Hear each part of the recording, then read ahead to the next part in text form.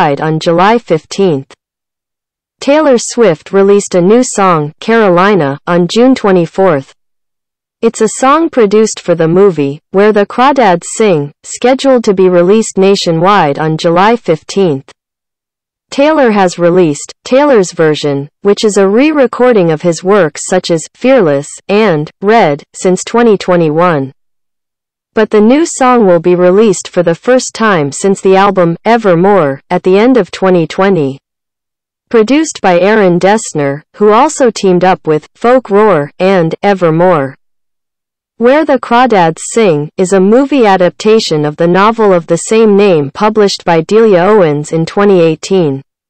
When the trailer footage using Carolina was released in the spring, Taylor announced the following message through social media. When I read this book a few years ago, I was completely forgotten and engrossed in it. So it was made into a movie under the production of Reese Witherspoon, starring Daisy Edgar Jones. When I heard that it was going to be done, I definitely wanted to get involved in the music. I wrote this song, Carolina, and had my friend Aaron Dessner produce it. To fit this fascinating story, I wanted to create something that left a long impression on me and had an atmosphere that I couldn't think of in the world. Taylor Swift